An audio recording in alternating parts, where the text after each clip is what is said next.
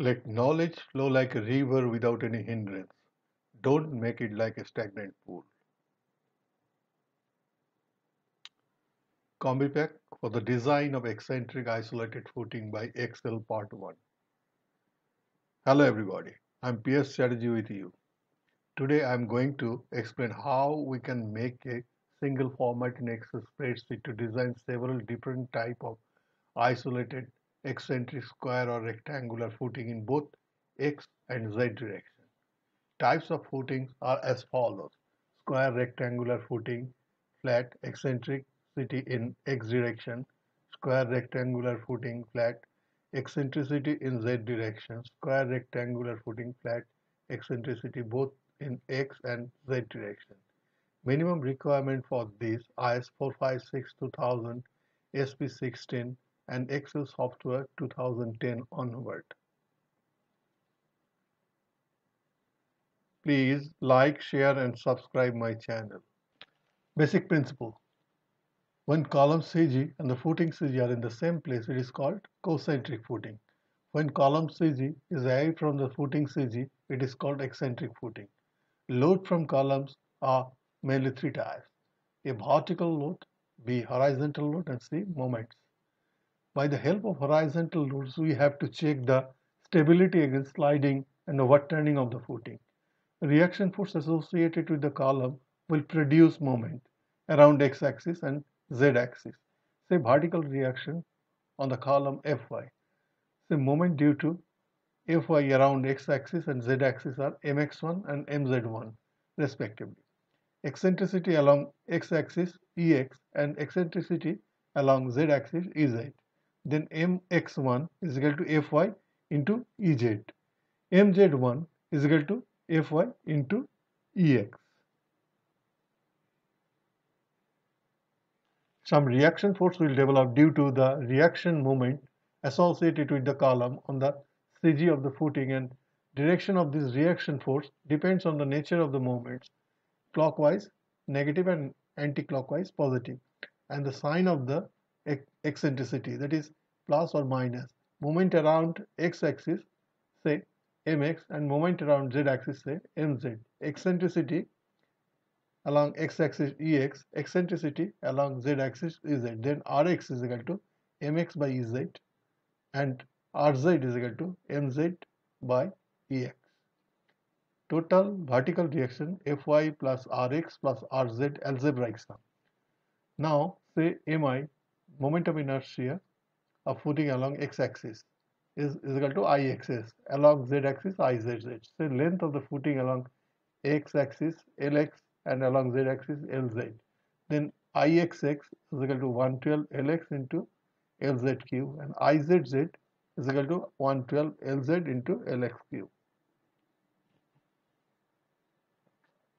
Distance of extreme point from x-axis along z direction is equal to y-axis and distance of extreme point from z-axis along x direction yzz. zxx is equal to ixx by yxx and zzz is equal to izz by yzz. Total area of the footing A is equal to Lx into Lz. Say, say maximum and minimum pressure are P max and P minimum.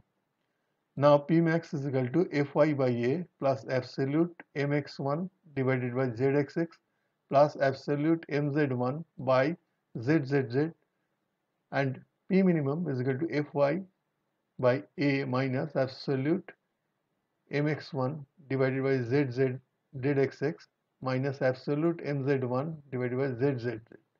Conditions for the design of eccentric footing are as follows. Pmax must be less than equal to 7 bearing capacity of soil NSBC. P minimum must be greater than equal to 0. This is isometric view of a footing from top. In this position, Ex and Ez both positive. In this position, Ex negative, Ez positive. In this position, Ex negative and Ez also negative. In this position, Ex positive and Z negative. When we are looking from this side, it is called view from XX and this is view from ZZ. Rx is equal to reaction due to moment mz is equal to mz divided by ex. Here it is minus mz and minus ex.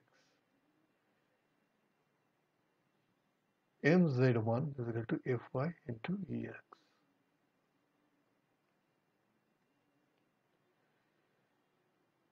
Similarly, this is for view from ZZ axis. This is moment to reaction and reaction to moment.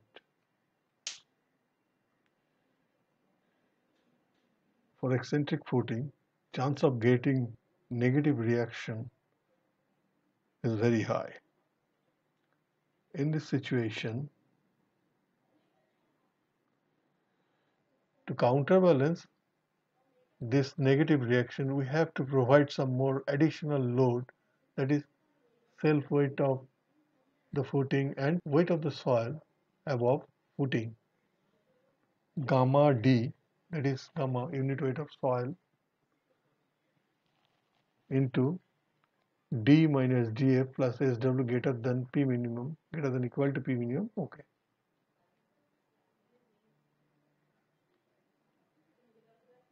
Footing with uniaxial eccentricity.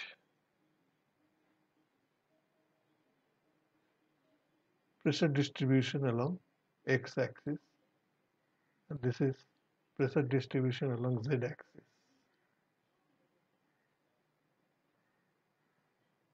Footing with biaxial eccentricity. This is plan and this is elevation. This is from z-axis.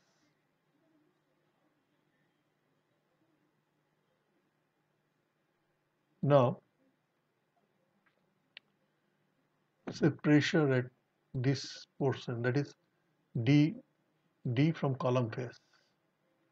Is px1 and this is also D from column face px2 this is pz1 this is pz2 say rate of pressure increment pix Pix is equal to P max minus P minimum divided by Lx.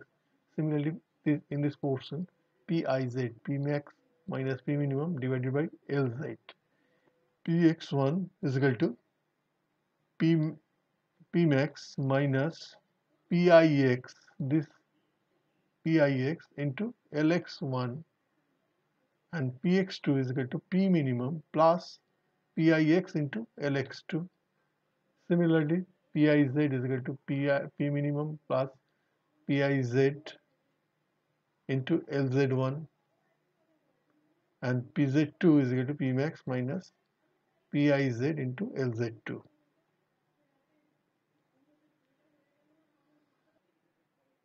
And this is all about my combi pack for the design of eccentric footing part 1. I hope you enjoyed it. In part 2, I am going to apply all these formulas that I have explained here in Excel spreadsheet. Part 2 will be released within 7 days. Please do not forget to subscribe my channel and also evaluate my performance with your valuable likes, share and comments. Thank you.